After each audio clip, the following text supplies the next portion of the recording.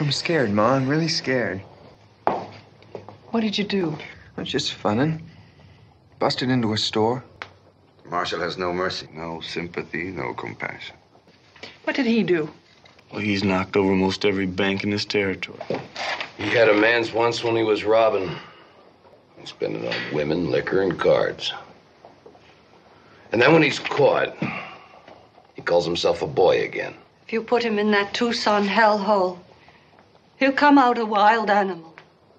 That storekeeper you robbed has six kids.